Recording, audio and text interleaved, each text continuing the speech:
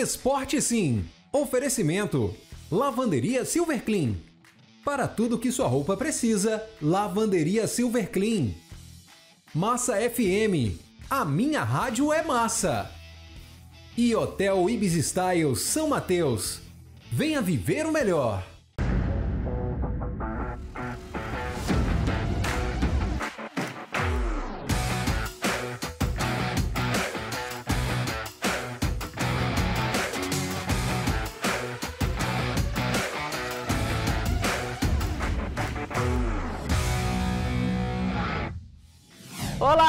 Esporte Sim no ar aqui nos canais da Record News e TV Sim. E a gente começa o programa de hoje falando de carnaval, viu? Tá chegando, falta pouco, né, Rodolfo? Falta pouco, né, Juliana? E, ó, a turma das passistas, além de ter muito samba no pé, claro, tem que ter muito condicionamento físico para aguentar uma hora de desfile ali em cima do salto alto, né? É verdade. Para isso, os treinos focam aí na resistência, na flexibilidade e na expressão corporal. Vamos então conhecer aí um pouco mais dessa preparação com a nossa repórter Luciane Scarpati, que foi lá ver, bater um papo com as meninas.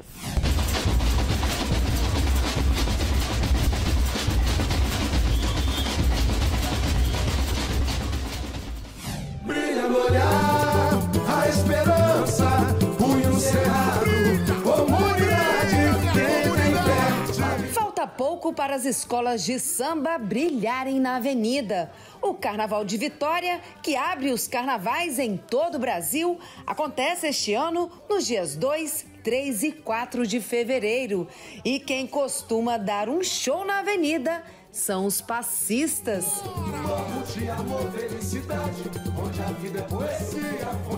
Laila e o Everton são passistas da Escola Unidos da Piedade e já estão afiados para o grande dia.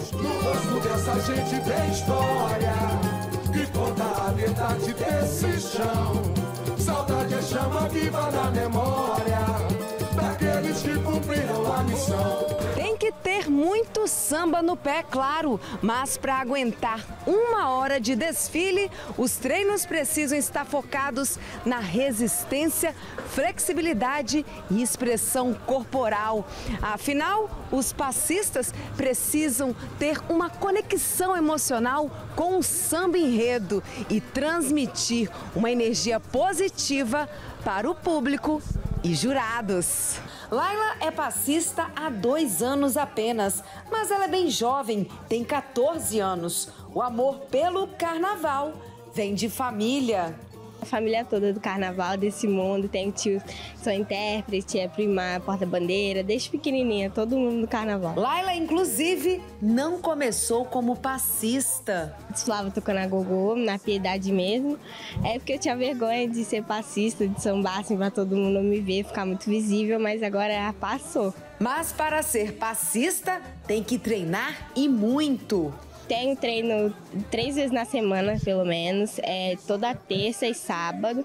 E às vezes em casa, sozinha, assim, fico treinando uns, um minutinho sambando sem parar. E tem muita técnica. Tem a coisa do braço, o pé alinhado, a- os dedos esticadinhos, é, são técnicas. Agora, muitas passistas têm a questão da fantasia, algumas são até um pouco pesadas. É, vocês às vezes até colocam a fantasia para poder já acostumar, né? Isso, tem que se acostumar com o peso da fantasia na hora de sambar para ver se vai estar boni- tudo bonitinho, não vai estar desalinhado o seu samba. E o salto também, né? Sempre ali, todo treino. Salto, todo treino tem que estar com um saltinho no pé para ir se acostumando. Agora, às vezes chega a machucar, como é que é? Machuca, quando se você ficar muito tempo assim, machuca igual esses últimos tempos aí do carnaval, que reta final, tô sambando demais, tem muito ensaio, mais que o normal. Aí dói um pouco. Mas vale a pena. Vale a pena, que é a escola do coração. E qual é a expectativa? Faltando aí pouco mais de uma semana pro carnaval, como é que tá o coração? Eu tô um pouco nervosa, né? Primeiro aninho de destaque das fascistas. Ah, mas há muita emoção, que é a escola do coração, desde pequenininha. Então tá tudo bem, vai dar tudo certo. Já tá com samba na, na ponta da língua? Já, tem que estar, né? E no pé também. Isso. Então, samba um pouquinho pra gente. mulher, que a força é raça, axé. O canto do anjo negro bateu forte O Everton também tem samba na veia. Toda a família é envolvida. A minha família toda, né, é do mundo do carnaval. É, com isso eu tomei gosto e continuei, né, seguindo a tradição da nossa família. Você falou que desde criança você está envolvido no carnaval, mas como passista? Então, como passista eu estou há 11 anos entendeu? Eu iniciei como na ala das crianças, fui mestre sala mirim, hoje em dia sou passista. E para você, o que, que é esse momento ali na avenida? Dá todo, dá o sangue mesmo, como é que é? Sim, esse momento é um momento muito especial, né? Ainda mais pra gente que é passista, que a gente coloca o samba tanto na boca, né, que é na ponta da língua, e no pé. A gente consegue transmitir a energia do samba através do nosso samba, entendeu? E a gente consegue também ser, é, como posso explicar, ser mais é, feliz, é aquele momento, né, contagiante que a gente tem na avenida. E vem cá, como é que tá sendo aí a rotina de treinos? Eu sei que tem que treinar muito, né? Isso, a gente tem que treinar bastante. O meu coreógrafo e diretor, o George, né? Ele é bem intenso com a gente, colocando né, a gente no eixo, tendo toda a disciplina dentro de um samba. O que não pode faltar no samba é o samba do pé, né? É tão sério que eles têm coreógrafo e tudo. É o Jorge Falcão que não dá moleza. É um treinamento muito árduo. Primeira coisa que um bom pastor deve ter é compromisso com a sua escola. Ele pode ser muito talentoso, mas ele tem que ter compromisso e dedicação com o seu pavilhão. Depois, horas de ensaios, a gente treina muito resistência, muitas horas em cima do salto. A gente, eu, pelo menos eu pego muito no pé com boa alimentação, beber muita água, porque é uma hora de desfile, né? E o pastor de desfile tem um papel muito importante que é fazer o recuo da bateria. Quando a bateria entra, é o pastor que tampa você não pode correr, não pode deixar buraco. Então, o que a gente vê é que uma hora a gente trabalha seis, sete meses antes do carnaval mesmo. É uma boa ala, é uma ala que se prepara há meses antes, porque todo mundo acha que é só chegar e sambar, mas tem a preocupação se está alinhado, se a ala deu buraco, se está passando direito, se não está correndo na avenida, isso faz que a escola não perca ponto. Ou seja, né, tem que treinar muito então. Muito e muito. E como é que estão nossos passistas? Há poucos dias do carnaval, estão aí com samba na, na no pé, na língua, como é que é? Então, assim, falta uma semana praticamente, a gente ainda tá muito intenso com os ensaios, eles já estão cansados, mas eu falo, não, tem que ter mais ensaio, tem que treinar, porque até o último dia pode acontecer alguma coisa. Então, eles estão 80% prontos. Então, assim, até o final com muito treino. Muito, até sábado tem muita água para rolar ainda. E qual a expectativa esse ano? Como é que tá o Samba Enredo da Piedade? Ah, a gente está falando da nossa comunidade, Samba Enredo Quilombo Piedade, uma nova gestão, uma nova presidência que está trazendo de volta a raiz da escola, olhando para sua casa. Então as expectativas estão altas. Então vai ser um, um, um, belo carnaval. Vai ser emocionante, hein, gente? Aguarde. voz que não se cala, é atitude, negritude na pele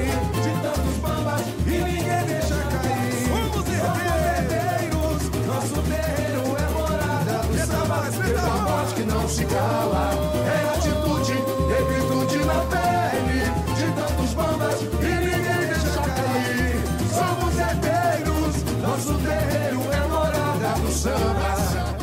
Bom demais, né? No salto alto, com todo estilo e elegância. É isso aí, o carnaval tá chegando, né, Juliana? Carnaval de Vitória, os desfiles vão ser semana que vem. Pois é, a, a galera vai, vai poder acompanhar tudo aqui na Record News. Toda a nossa assim, equipe né? de jornalismo vai acompanhar os desfiles do Carnaval de Vitória e trazer todos os detalhes aqui é para vocês. E agora, Juliana, vamos mudar de assunto? Porque Vitória recebeu essa semana a 16 edição do Training Camp de ginástica rítmica, Olha né? Legal. Evento que reuniu atletas de 12 estados do país e contou com a presença da treinadora da seleção brasileira da modalidade, a Camila Ferezin. Vamos dar uma olhada porque o repórter Enzo Teixeira foi lá conferir. Vai!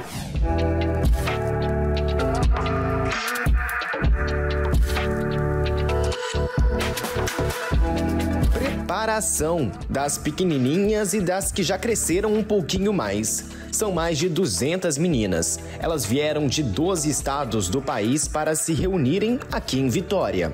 Elas são divididas em níveis técnicos, mas as aulas acontecem todas ao mesmo tempo. As aulas são simultâneas, mas são separadas, né?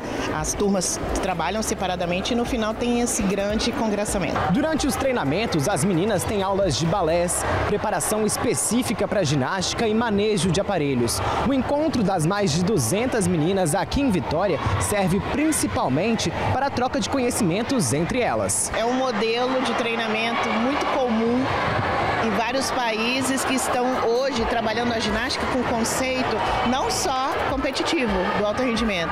Aqui também a gente tem ginastas que estão começando na iniciação, temos também ginastas que estão no nível intermediário aprendendo a competir, como também nós temos as turmas das ginastas campeãs brasileiras, campeãs pan-americanas. Então, o nivelamento é muito importante. Imagina uma criança que está começando a fazer GR, olhar uma turma campeã pan-americana que está do lado dela.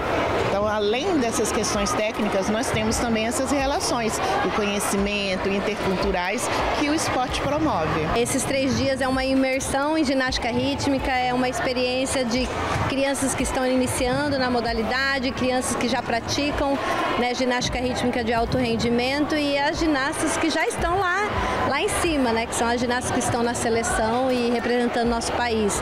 No acampamento, elas estão bem acompanhadas. A Camila, por exemplo, é treinadora da seleção brasileira de conjunto. O Espírito Santo tem bastante ginastas que é, essas crianças podem se espelhar e elas estão aqui presentes.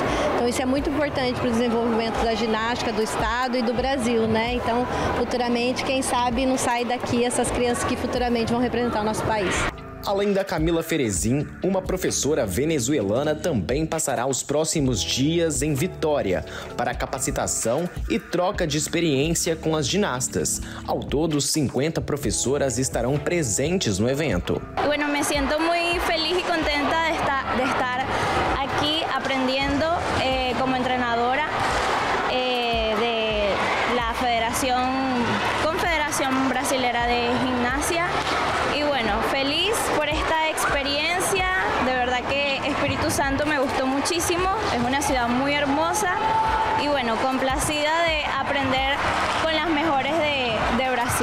A Josiane também é treinadora. Ela trouxe 15 meninas diretamente da Bahia. Duas delas, inclusive, fazem parte da seleção brasileira.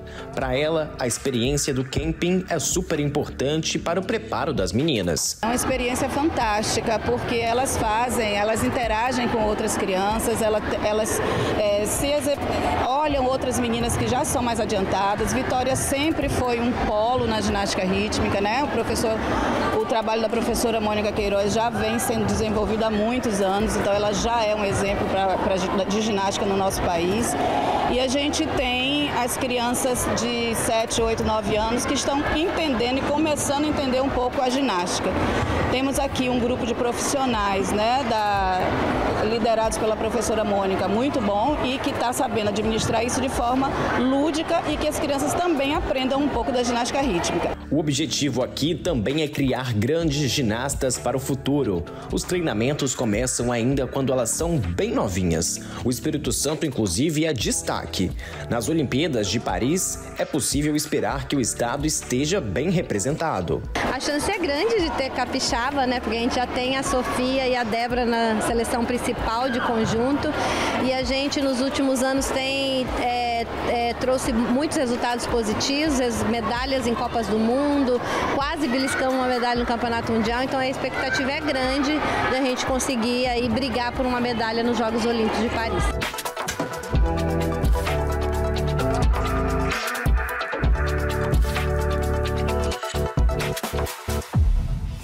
Bacana esse treinamento, hein, Rodolfo? E é. a treinadora da seleção brasileira já com foco aí nas Olimpíadas, né? É, já tá de olho em Paris. Agora, Juliana, vamos falar agora de vôlei. Vamos embora. Vamos falar de vôlei porque as seleções capixabas sub-16 sub-18 passaram por um período aí de treinamentos lá na Secretaria de Estado de Esportes e Lazer. Vamos dar uma olhada. O Enzo Teixeira foi lá também. Vai, Enzo!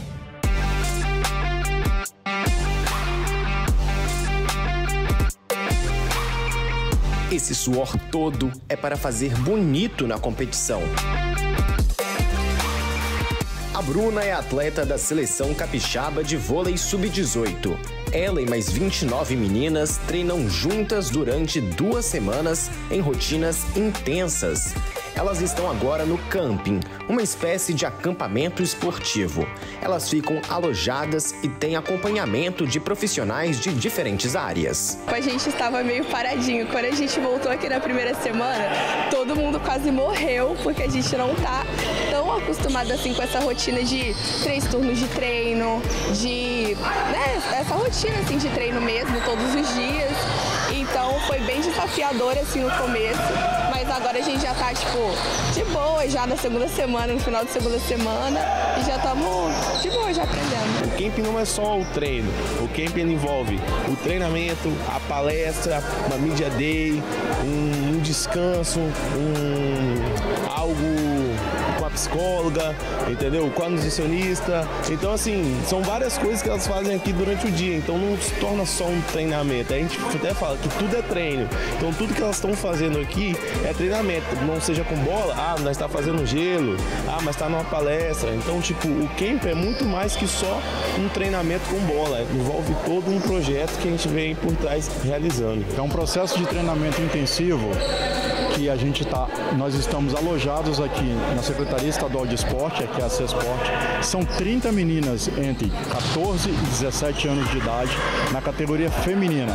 Elas é que vão representar a nossa, nosso estado no Campeonato Brasileiro de Seleções. É uma rotina que começa às 7 da manhã, elas tomam café e vêm para o primeiro treinamento com bola na quadra, que dura por volta até do meio-dia, 11 horas da manhã. Depois elas almoçam descansam, vão para a academia malhar ou fazer uma parte física com um preparador físico, voltam, lancham, voltam para o segundo treinamento com bola, ficam aqui jantam e vão dormir para no outro dia começar toda a rotina novamente. De olho no pódio, as meninas que vão representar o Espírito Santo no Campeonato Brasileiro de Seleções têm treinado muito para conseguir o objetivo. O sonho agora é subir de categoria e entrar para o grupo especial. A gente almeja pelo menos assim dois objetivos, né? O primeiro é subir de divisão e ir para divisão especial e o segundo é medalhar, buscar essa medalha de ouro e voltar o Espírito Santo de volta na divisão especial. A gente tem uma expectativa de que o processo está sendo bem feito. O resultado é uma consequência do que a gente faz. Porque se a gente cria uma expectativa de resultado, a gente fica refém ao resultado. E a gente não quer isso, a gente quer saber, ter certeza que essas meninas foram bem, bem preparadas. Se o resultado vier, para a gente vai ser a, é, a cereja do bolo, né? Aquilo que a gente acreditou que ia dar certo e realmente deu. O Jordan é treinador da seleção feminina sub-16, que também está acampada. Segundo ele, o Espírito Santo trabalha para conquistar ainda mais espaço no voleibol nacional. O cenário do voleibol capixaba, acredito que vem crescendo muito dentro das quadras, base e também no profissional. Então, assim, nos últimos anos estamos muito bem. Acredito que a tendência é só melhorar e é, e é isso, sempre trabalhando forte para as coisas subirem. O Fábio Luiz, medalhista no vôlei nas Olimpíadas de Pequim, é treinador da seleção masculina sub-18, mas também contribui com o preparo das meninas. O objetivo é trazer resultados para o estado. Todos os técnicos trabalham em prol de um objetivo nosso, que é colocar o Espírito Santo no seu devido lugar, né? que é, é na, na, elite do voleibol brasileiro. Esse é o nosso objetivo. Né? Nós queremos deixar mesmo de vez, tanto na praia nós já temos uma cultura, né? só que as pessoas esquecem que o voleibol de praia e o voleibol do Espírito Santo ele começa aqui na quadra. E é isso que o presidente Celso quer fazer mudar essa, essa identidade. Nós vamos vir forte agora, né? Como diz o ditado, a base vem forte dessa vez. Tem sido muito gratificante, né? Porque todo esse tempo assim de treino, de preparação, mostra que tem valido a pena.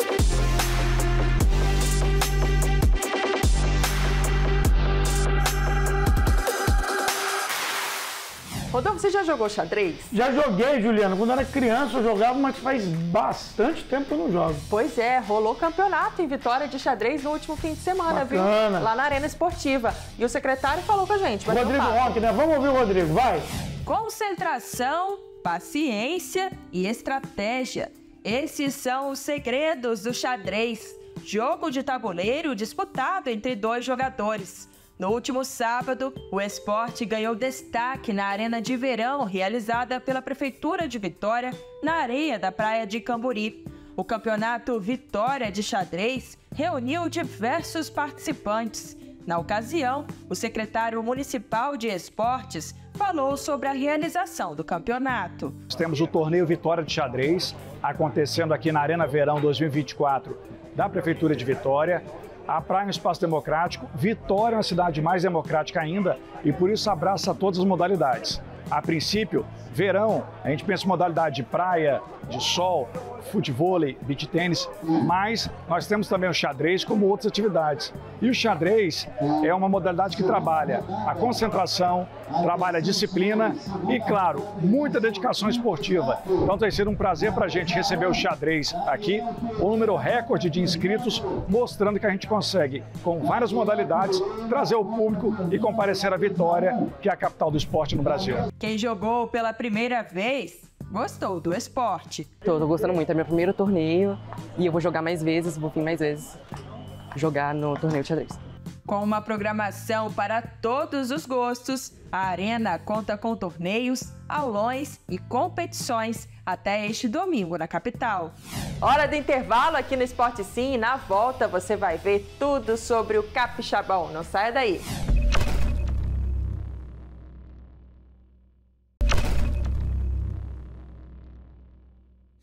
De volta com o Esporte Sim, agora chegou a hora de falar de futebol. Paixão Nacional Capixabão 2024. Os jogos da terceira rodada acontecem neste sábado e domingo. Vamos conferir, Juliana, a tabela, os locais e os horários aí das partidas. Vai. Vai! Capixabão 2024, jogos da terceira rodada. Neste sábado tem Nova Venécia e Vitória, às 15 horas, no estádio Zenor Pedrosa Rocha. Desportivo e Jaguaré, às 16 horas, no Engenheiro Araripe. E Serra e Rio Branco, às 20 horas, no Robertão. No domingo, Porto, Vitória e Rio Branco de Venda Nova se enfrentam no Kleber Andrade, às 10 horas. E Real Noroeste Estrela, no estádio José Olímpio da Rocha, às 17 horas. Olha só, durante a semana nós tivemos aí os confrontos pela segunda rodada do campeonato. Hora de ver os gols e como ficaram os resultados das partidas. Na tela. Capixabão 2024, gols da segunda rodada. Vitória e Serra no Salvador Costa. Primeiro tempo, cruzamento da direita, terminou com a sobra para Renan marcar. Vitória 1 a 0. E logo no início da etapa complementar, Dodô aproveitou o rebote do goleiro e ampliou 2 a 0. E tinha mais vitória. Carlinhos avançou livre e na entrada da área, na saída do goleiro, fez o terceiro do Alvianil. Zé Gatinha descontou para o Serra, mas já era tarde para qualquer reação. Final: Vitória 3, Serra 1.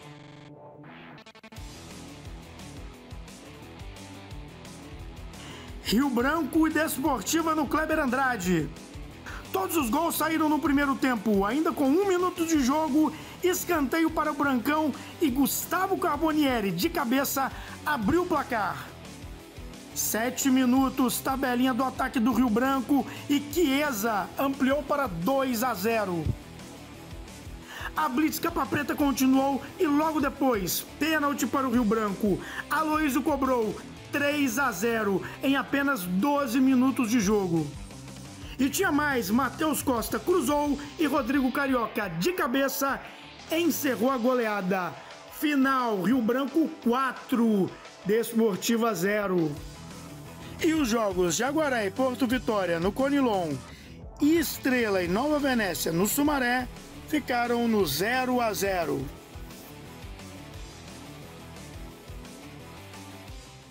Pois é, Juliana, como vocês viram aí, né? O clássico entre Rio Branco e Desportiva terminou em goleada capa preta 4 a 0.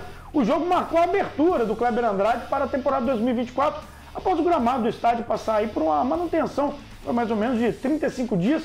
Nós conversamos né, com o secretário de Estado de Esportes e Lazer, o José Carlos Nunes, sobre o principal palco do futebol capixaba, sobre o gramado do Capixabão. Vamos dar uma conferida aí, o bate-papo com o secretário Nunes. Bem isso aí, galera, torcedores. é, no nosso estado, né? De várias equipes, vários times. Eu quero aqui registrar a alegria né, de estar recebendo é, esse ano o primeiro clássico né, em banco Esportiva. Tenho certeza absoluta que outros jogos é, vão estar é, aqui no nosso estado também, né, em outros campeonatos, mas quero registrar a alegria, né, novamente, da gente ver um clássico do bonito matuense. É, Desportivo e Rio Branco já fizeram vários é, grandes gols é, a nível de estado, é, mas também quero falar do nosso gramado. É, depois de uma manutenção de 35 dias, nós estamos vendo aqui uma partida de futebol em um dos gramados mais belos do nosso país. Então, para quem tiver dúvida, é só marcar que eu vou aqui no Twitter, para vocês sentirem o que, que, é esse gramado. É um espetáculo do gramado. Torcedores estão é, muito felizes por a gente ter um cenário aqui no nosso estado que pode comportar grandes jogos. Fizemos um investimento, o governo do estado fez um investimento muito bacana para proporcionar é, esses espetáculos, né, tocando toda a iluminação web, o gramado, espetáculo de gramado, ou seja, estamos prontos para receber grandes jogos. É isso, parabéns a todos. Vamos que vamos. De Cariacica, a gente vai direto para Colatina Opa. agora, falar de hidroginástica. Por lá, tá rolando hidroginástica de graça e mais de 300 pessoas, tanto da terceira idade quanto com indicação médica, praticam esporte através do projeto oferecido pela Secretaria Municipal de Esportes. Bacana, hein? Vamos ver. Vamos conferir, vai.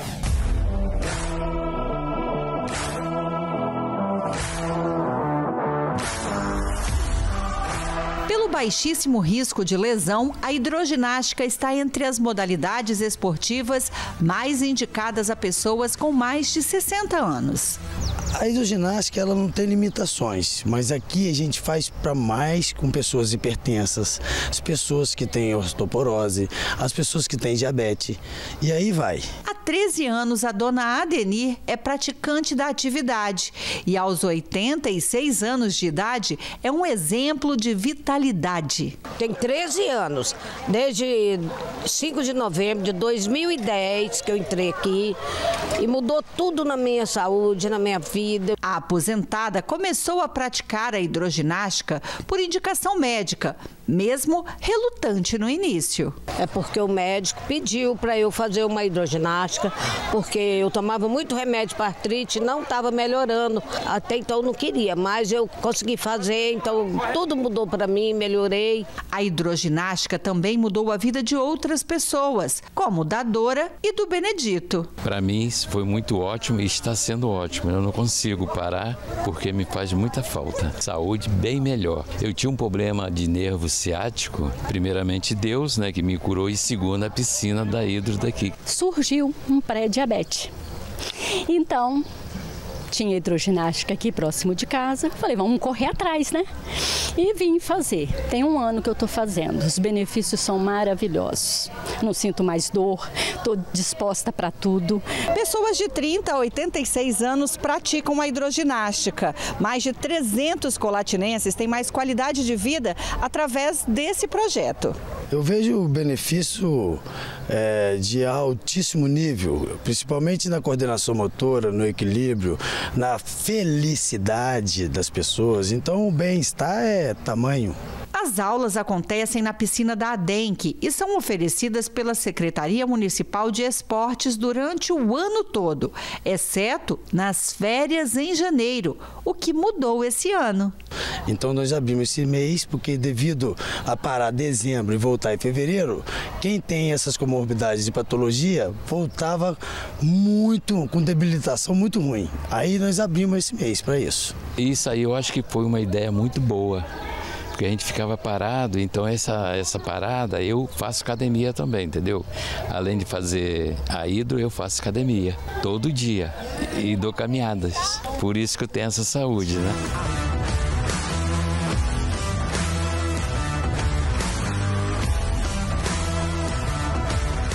Intervalo rapidinho aqui no Esporte Sim. No próximo bloco tem o Oliveira e tem a agenda esportiva.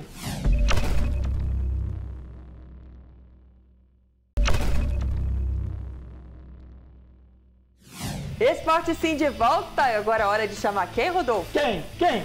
O Orgulho de Pancas, Oliveira. Ele conversou com o sensei Márcio, faixa preta de Karatê, que além de formar campeões, trabalha com crianças autistas, promovendo a inclusão social. Vai, Oliveira, é com você.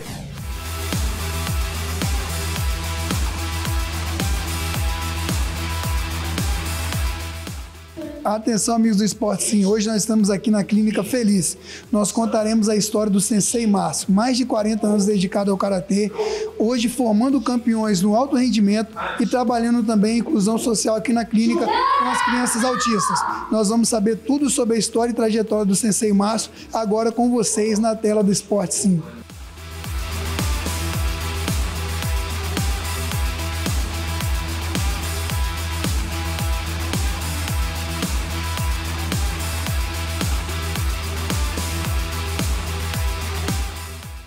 Então, a gente está aqui com o Sensei Márcio e a gente sempre é muito prazeroso estar falando dessas histórias, né? E hoje mostrando um trabalho totalmente diferente.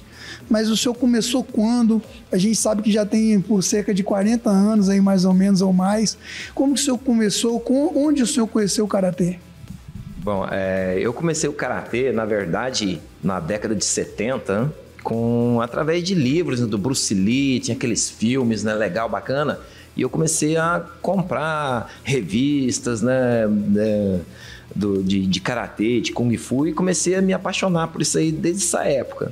Aí depois foi aparecendo alguns, alguns é, andarilhos do karatê aí que apareciam nos interiores, ensinavam uns golpes, ou depois sumiam tal, e com eles eu fui aprendendo uma coisinha, até aparecer um professor sério no município, e eu comecei a treinar bem sério tal, né?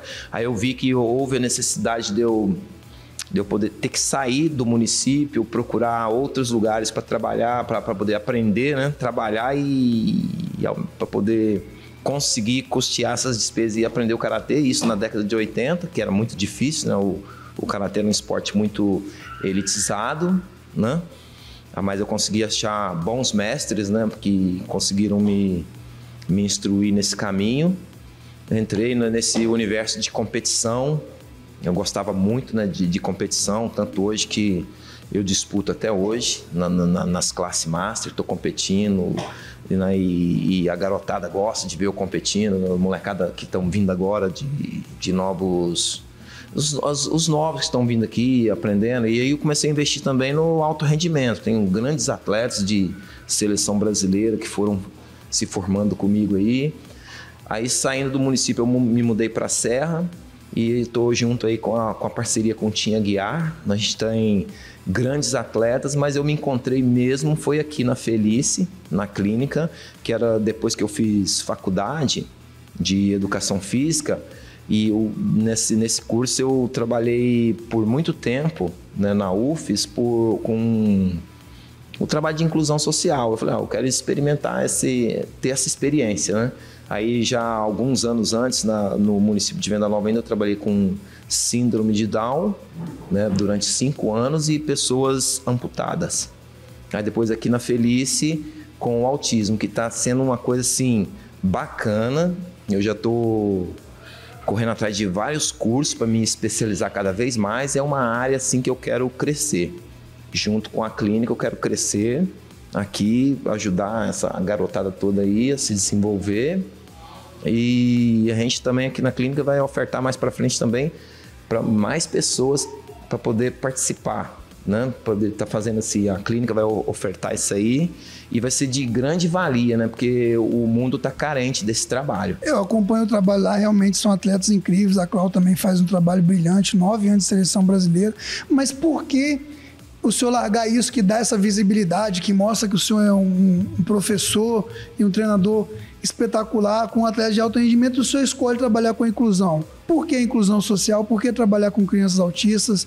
Por que mudar totalmente esse foco que uma parte do alto rendimento dá muito mais retorno de visibilidade, às vezes a inclusão social nem tanto. Claro que hoje a gente está aqui para mostrar porque a gente se importa muito com isso, mas muitas pessoas não olham muito bem para isso. Por que o senhor escolheu isso e por que trabalhar aqui na clínica? Então, o, os dois trabalhos são muito bons. Trabalhar com alto rendimento é muito bom, mas trabalhar esse trabalho aqui é uma coisa que me tocou mais, né? Eu não é questão de valores financeiros, né? é questão de, de colocar algo para a sociedade, né? Melhor e colocar essa eles em evidência, incluir eles. Eles também têm direito de estar participando de eventos. Então, o que eu quero é que eles apareçam mais do que eu. A gente vê o senhor emocionado, eu, eu conheço o senhor há mais tempo. Eu vejo que o senhor trabalha muito sério com isso. Essa emoção, e a gente vê que aqui não é uma aula, é uma interação, uma entrega. Como que é o senhor ver essas crianças, os pais, a família toda, indo em grandes eventos? A gente também tem um evento Oliveira Fight Combat que leva essas crianças para mostrar. A gente tenta sempre estar tá também incluindo, porque sabe desse trabalho a gente vê você emocionado com isso. Qual é a emoção de trabalhar essas crianças, de ver o resultado, de ver elas fazendo tão bem ah, os movimentos da, da arte marcial? Sem palavras. É muito legal a gente ver é, o seu emocionado depois de tantos anos, a gente vê um mestre emocionado. E eu fiquei emocionado quando eu cheguei aqui vendo as crianças fazendo tão bem, e o senhor tão entregue a isso, a esse trabalho. E hoje eu vim aqui, né, como a gente fez lá no nosso evento, homenagear esse trabalho do senhor. E a gente vê a emoção, né, é nada de vergonha, sim de ver que o senhor se importa e que isso aqui é de coração. Eu queria que o senhor fechasse deixando um recado hoje. Qual é o seu maior objetivo?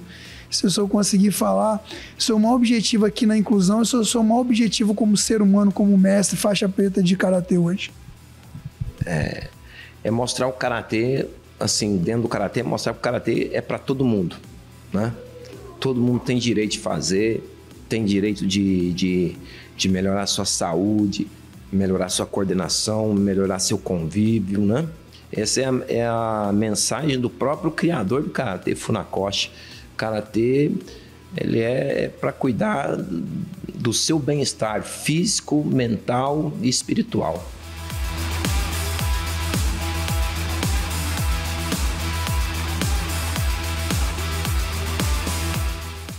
A gente está aqui com o Carlos, que já disputou campeonato brasileiro e tudo, e hoje está aqui na clínica aprendendo o karatê. O que o karatê tem te ajudado no seu dia a dia, Carlos? Ele tem me ajudado no controle da ansiedade, da raiva. Eu estou tendo muitos problemas com a raiva ultimamente e eu estou conseguindo controlar isso mais ou menos.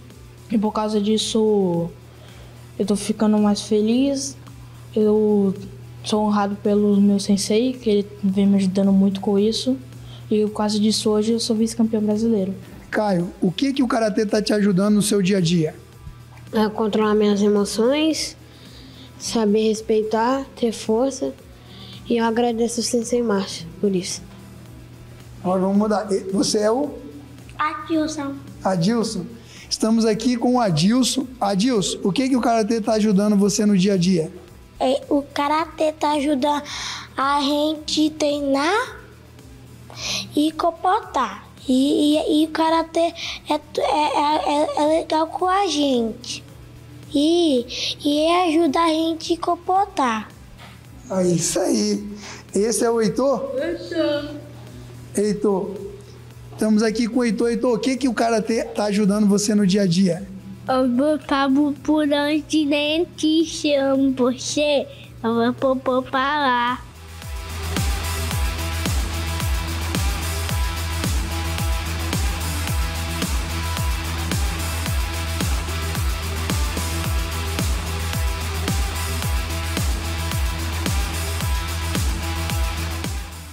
Então, hoje nós contamos a história do Sensei Márcio, nos emocionamos, uma história incrível de um cara que se dedicou mais de 40 anos ao karatê e hoje forma campeões do alto rendimento e trabalha na inclusão social. Muito feliz de contar essa história aqui na tela do Esporte Sim. Sábado que vem nós vamos estar de volta contando mais outra história magnífica como essa. Até a próxima, se Deus quiser. Esporte Sim, aqui é para todos. Os.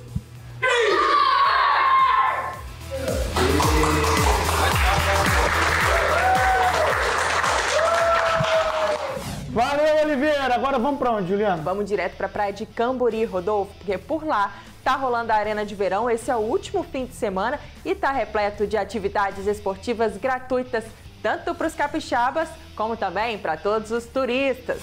Pois é, chegamos ao último fim de semana do Arena Verão montada aqui na praia de Camburi. Para falar um pouco mais sobre esse assunto, eu converso agora com o secretário de esportes aqui de Vitória, Rodrigo Ronque. Obrigado por aceitar o nosso convite. Começo te perguntando sobre a programação que acontece nesse fim de semana. O que, que vai rolar por aqui?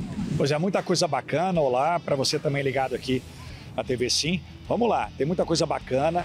Sábado e domingo, programação repleta, várias modalidades. Nós teremos no sábado é, vôlei, o vôlei adaptado, que vai estar acontecendo aqui na Arena. Teremos também um aulão de kickbox exclusivo para mulheres, que é uma coisa muito legal, voltado para as mulheres. E ainda no final de semana, juntando também com o domingo, teremos ainda o remo costal, que é uma modalidade nova do remo. Teremos uma competição de canoa havaiana, que é uma novidade na Arena de Verão, desse tipo de evento. Então estará acontecendo aqui também conosco. E ainda uma competição de cubo mágico, aquele cubozinho todo colorido, né, que tem os bambas que em 11, 10 segundos eles conseguem é, fazer todo o segredo. Vai estar acontecendo também aqui no espaço anexo. Então nós teremos competições de quadra, de mar e de anexo. E além disso, no domingo está programado um grande evento com medalhista olímpico de vôlei de praia. Teremos uma bela dupla acontecendo no masculino e no feminino, um desafio e também competições para a terceira idade. Então tem muita coisa acontecendo, centenas de pessoas esperadas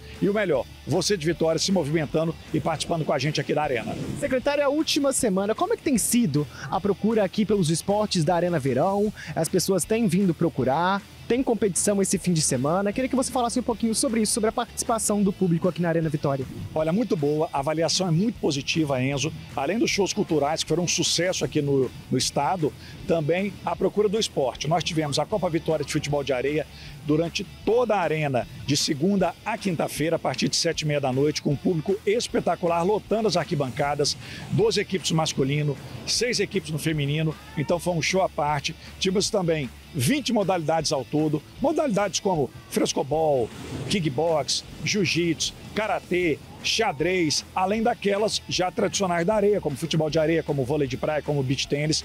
E essas modalidades aconteciam nos finais de semana e durante as semanas nós recebíamos o quê? As crianças dos projetos sociais da Prefeitura de Vitória e também aberto à comunidade, de 8 às 11 e de 14 às 16. Então, durante a semana também acontecia clínica esportiva dos eventos do final de semana durante a semana. Para quê? Para que as crianças passem já a ter o primeiro contato com o esporte e até o primeiro contato visando o alto rendimento. Então, altamente positivo. Foi algo que conectou a cidade positivamente e além do número Enzo de turistas. Muita gente de fora, muito turista passando férias aqui no Espírito Santo que esteve na arena, nos procurou. Então, acho que o objetivo foi atingido fazendo atividade física, prática esportiva e uma boa ocupação urbana aqui com esse cenário maravilhoso. Secretário, além das práticas esportivas que as pessoas podem vir até a arena participar, também vão ter competições nesse fim de semana. Quem quiser pode vir aqui assistir. Como é que vai funcionar? Pode vir assistir, é claro.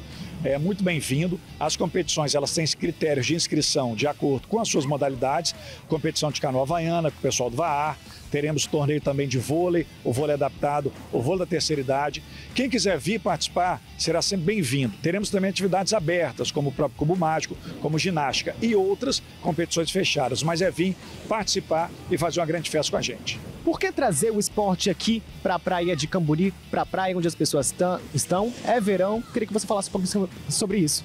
É uma bela pergunta, Enzo. A gente traz não apenas esportes tipicamente de praia, de areia, mas outras modalidades. A gente conecta, a gente faz o que Vitória pensa numa gestão moderna, numa gestão inovadora, que é conectar a cidade e proporcionar que o espaço urbano ele seja utilizado da melhor maneira possível, na maior quantidade de possibilidades possíveis para o seu público. Então aqui na arena, como eu citei, 20 modalidades esportivas. A gente olha uma arena de verão, pensa no vôlei de praia, no futebol de areia, no beach tênis e fica restrito. Aqui nós tivemos xadrez, aqui nós tivemos kickbox, aqui nós tivemos é, outras modalidades que a princípio não se conectam com o verão, mas se conectam com o esporte. E se a principal causa e a casa do esporte é a Arena de Verão 2024 em Vitória, nada mais justo que a gente abraçar a todos os esportistas do nosso estado. Secretário, um grande evento está marcado nesse domingo para fechar o Arena Verão. Queria que você falasse um pouquinho pra gente o que, que vem por aí. Pode tem muita festa acontecendo. No esporte, a gente encerra às 13 horas, né, com um grande desafio de vôlei de praia, masculino e feminino, além, é claro, das outras modalidades presentes. E, ao final do dia, Parece que tem todas as escolas de samba, será um grande evento, já é um grande esquenta. O secretário do Henning tem dado um show à parte com os shows culturais. Nós teremos as escolas de samba do grupo especial aqui do nosso carnaval se apresentando, lembrando que é um grande esquenta, que já no final de semana seguinte tem passarela no Sambão do Povo com o desfile, tanto na sexta quanto no sábado. Secretário, faz o convite então para quem está em casa, aproveitar o último fim de semana aqui no Arena Verão. Olha, só dá um pulinho, vem para cá. Se não quiser praticar o esporte, vem para se conectar, para criar sociabilidade. Eu acho que uma arena como essa, ela conversa com toda a cidade. É muito importante a participação de você, munícipe, de você, turista. E, é claro, Vitória tem esses braços abertos para você. Secretário, obrigado pela sua participação aqui com a gente. Tá aí o secretário de Esportes aqui de Vitória, falando um pouquinho mais sobre o encerramento do Arena Verão, que acontece nesse fim de semana aqui na praia de Camburi. Eu devolvo ao estúdio aí com vocês. Pois é, um monte de atividade aí para ninguém ficar parado. Bacana, né? Nosso verãozão capixaba continua pocando. É isso aí. O Esporte Sim de hoje fica por aqui. Nosso próximo encontro será no sábado que vem, às 8h30 da manhã, com reprise. Domingo, meio-dia e meia. A gente se vê, hein? Até lá. Esporte Sim. Esporte Sim. Oferecimento. Lavanderia Silver Clean. Para tudo que sua roupa precisa, Lavanderia Silver Clean. Massa FM. A minha rádio é massa. E Hotel Ibis Style São Mateus. Venha viver o melhor.